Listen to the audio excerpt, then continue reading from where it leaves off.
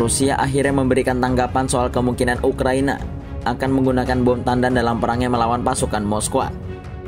Kremlin pada Rabu 12 Juli 2023 menyatakan akan merespons jika Ukraina sampai menggunakan bom tandan terhadap pasukannya.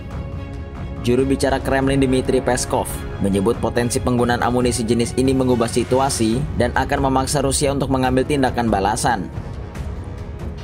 Sebelumnya Amerika Serikat pada Jumat 7 Juli 2023 mengumumkan akan memberikan bom tandan kepada Ukraina untuk pertama kalinya.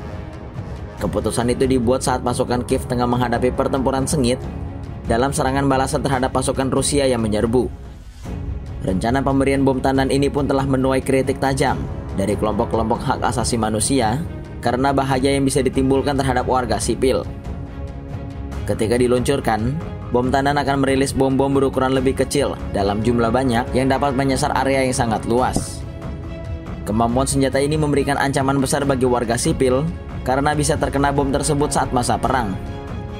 Namun, Amerika Serikat mengaku telah menerima jaminan dari Kiev bahwa mereka akan meminimalkan risiko terhadap warga sipil. Hal itu dapat dilakukan dengan tidak menggunakan amunisi tersebut di daerah berpenduduk.